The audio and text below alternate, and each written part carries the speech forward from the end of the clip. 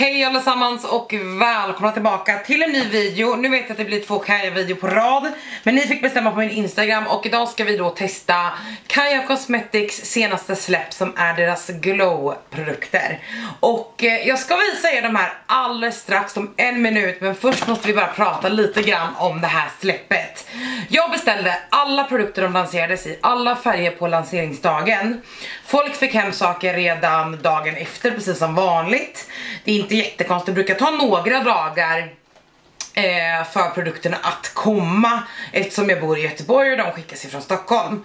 Eh, efter sju dagar så hade hela internet fått produkter men inte jag. Eh, och får ett mail, jag tror att det blir åttonde eller nionde dagen, men jag tror att det blir åttonde dagen. Eh, av Kai Cosmetics, hej! En produkt har blivit försenad och vi kommer inte skicka ut ditt paket förrän alla produkter är på plats. Eh, så de kommer liksom inte dela upp orden. Och oavsett hur jag är som offentlig person eller influencer whatever, jag betalar för alla de här produkterna alltid själv. Eh, så blir man då lack och bara Why? Jag köpte grejer för över 2000 spänn. Where are them? Varför skickar ni inte ut det som finns? Varför säljer ni saker som ännu inte finns i lagret? Då fick jag i alla fall fram att det är den mörkare färgen som eh, helt enkelt inte har kommit in till lagret än. Eller jag förstår det som det i alla fall. Och de kan därför inte fullfölja ordrarna. Och de har då fullföljt ordrarna med de ljusare färgerna och då tänker jag fuck jag vill inte ens köpa de mörka utan det gjorde jag bara för att jag ska kunna swatcha dem för er och göra den här videon då. Onekligen så blir jag sur, skriver på min story att jag tycker att det suger för att jag tycker verkligen genuint att det suger. Det spelar, det är ingen extra bashing på Kaja. Som sagt ni som har varit här inne vet att eh, jag tycker jättemycket om jättemycket från Kaja. Så det är ingen bashing på det liksom. Utan jag hade blivit lika sur oavsett om det hade varit Lyko eller Kicks eller whatever liksom. Hur som helst. Eh, jag sa det men då hoppas jag att ni är okej okay, att jag bara får tillbaka pengarna. För att det hade jag hört på riktigt från flera hundra utav er i mina DMs. För vi hade en lång konversation på Instagram om det här. Att ni var jättemånga som hade problem med foundation släppet. En del utav er har inte fått tillbaka pengar än. Eh, det var så dubbel och trippeldragningar och felgrejer, när jag fått betala era egna returer etc. Och då skrev jag det på min story att jag hoppas ju inte att det är så här ni hanterar det när det är ni som har schabblat bort det liksom. Och jag köpte ju bara de här produkterna för att recensera dem och nu är de typ inte aktuella längre. Och det var därför som jag tänkte, should I even make this video? But I am. Ni ville jättegärna att jag skulle göra den här videon även om det är typ lite sent eller lite så så att det blir ett litet test och du och jag då köpt de tre ljusaste färgerna. Jag tänker att vi börjar med att titta på dem. Så här ser förpackningen ut, lika fina som Kens förpackning alltid är. Eh, de här är inte jättebilliga, absolut inte. Speciellt inte den här body glow produkten. Men den ser, oh, för det första är den huge. Och jag älskar att det är plast. En del kommer vara så här, men det känns inte lika lyxigt. Men de flesta sådana här produkter är i glas.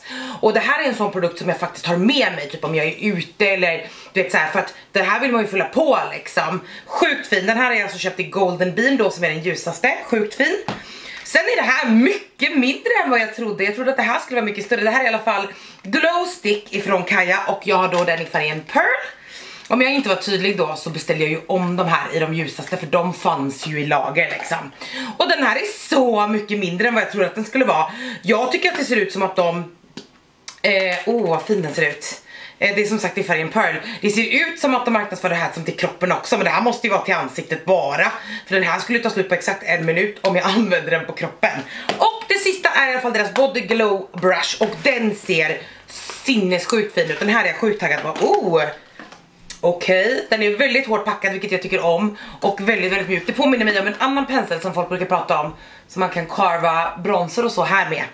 Superfina, så jag tänker att vi helt enkelt testar de här. Så jag har alltså Golden Beam, jag har Pearl och jag har penseln. Som sagt, ingen av dem är speciellt billiga men ärligt talat om man gillar en sån här produkt och det funkar bra, då kommer man kunna ha det här för alltid. Så här ser min hand ut innan. Jag kommer inte filma med mina ben och sånt för att jag flyttar inte hela min setup, lampor och hela skiten för att ni ska kunna se det. Så mina armar är tiss. Den är i alla fall helt ny för att den pumpar. Oh. Jag tar två pumpar där. Jag vet inte om första var en liten fake pump. Ska vi se här. Åh! Oh, vilken glow, okej. Okay. Den här luktar sjukt gott. Eh, då kommer ni undra vad den luktar. Den luktar inte kokos eller så här traditionellt typ så här solskydd. Utan den luktar mer... Åh, oh, den luktar ganska fräscht. Gud vilken lyster. Okej, okay, så här ser alltså lysten ut. Kolla vilken skillnad. Okej. Okay. Holy shit. Holy... Alltså kolla skillnaden på mina armar. Jag hoppas att ni ser. Det är sjuk skillnad. Nu sitter jag ju vid värsta lamporna med så ja, jag har ganska stora armar, man är ju fet liksom. Men vi, vi dundrar på här och ser hur glowy I can be. Det stora testet på det här, och det var därför jag tog, jag hade en annan klänning på mig förut. Men jag tog med flit, kolla här. Nu målade jag på den här, jag tog med flit en svart för jag ska se hur lätt det är att få bort om man får på kläderna. Det var något som jag, när jag frågade er vad ni verkligen ville att jag skulle visa i den här. Så ville ni veta det. Alltså glowet är insane alltså. Shit vilket fint glow. Alltså verkligen så fint. Borsten tycker jag också jättemycket om. Inte helt chockerande alltså. Så fint. Nu när den väl är där, då kommer jag ta en sån här makeup remover wipe. Jag har också baby wipe som jag vill testa med det. Jag tror att det är sånt här som folk har i närheten. Hur lätt det är att få bort från kläder. Det här är också en lite ribbad topp. Jo Det går bort. Det är ju skönt i alla fall att veta. För jag har haft såna här body glow produkter. Som makeupartist är det här en typ av produkt som jag har använt extremt mycket. Man går igenom extremt mycket body glow. När man eh, är makeupartist. Det är bara så.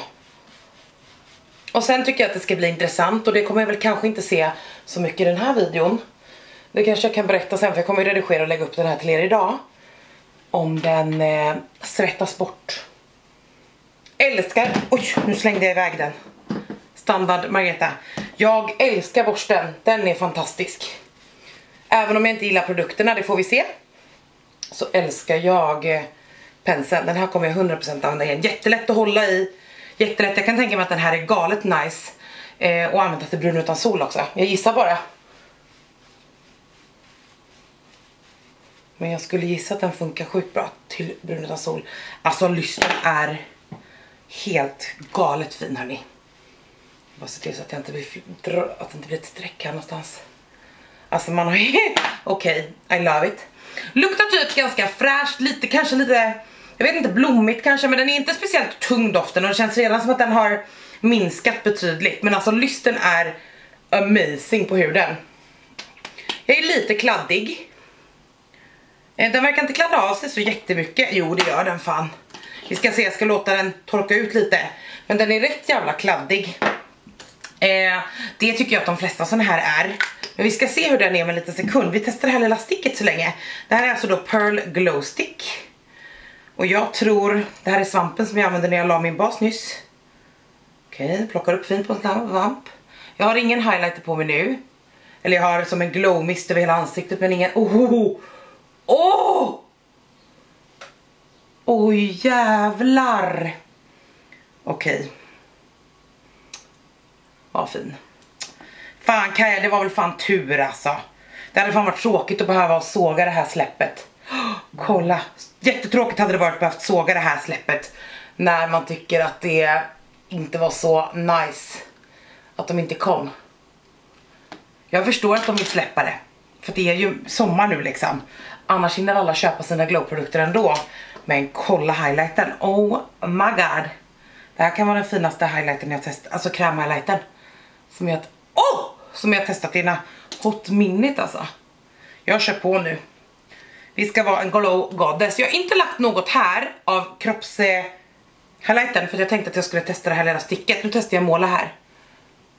Och nu lägger de då, nu är ju jag, jag har inte collarbones på samma sätt som en smal person för här är det ju mest fett men jag vill fortfarande ha glow men jag kommer blända ut den med den här penseln då som har givetvis kroppsprodukt på sig. Åh, oh, kolla! Okej. Okay. Det här var blandade känslor direkt kan jag säga för att en del utav mig vill såga det så att du vet för att man är sur och en annan del utav mig är så här hmm, wow. I could not wait long enough. Alltså än så länge sjukt fint.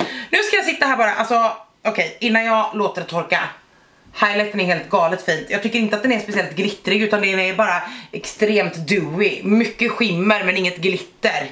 Och nu tog jag ju mycket för det gillar ju jag kan jag ju säga. Uh, This looks really good. Men när jag gör så här så är den sjukt kladdig. Alltså jag tror kanske att ni kan se det. Vi ska se. Ser ni? Kanske? Jo, jag tror att ni kan se kanske om jag zoomar in. Jo då, den är väldigt kladdig. Eh, det kommer inte vara så gött.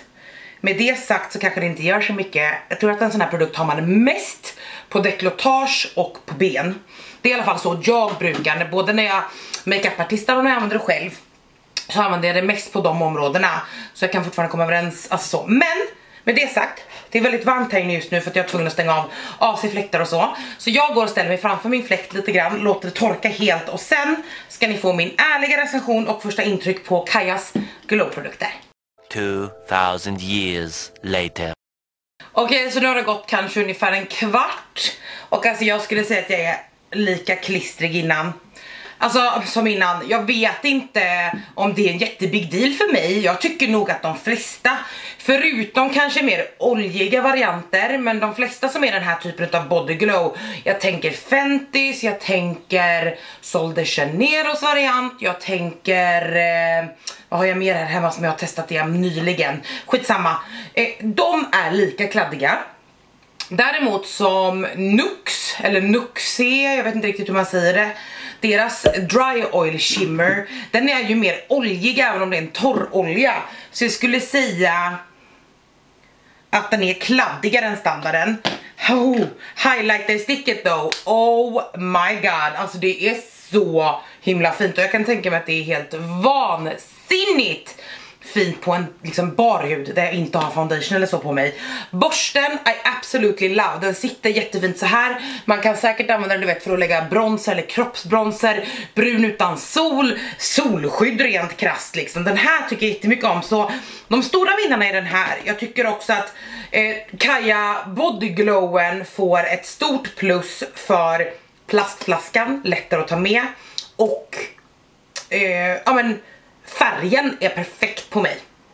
Ofta tycker jag att många sådana här glowprodukter är lite för eh, guldiga, lite för varma för mig. Det blir bara smutsigt för att jag har väldigt mycket varmt så här på armarna.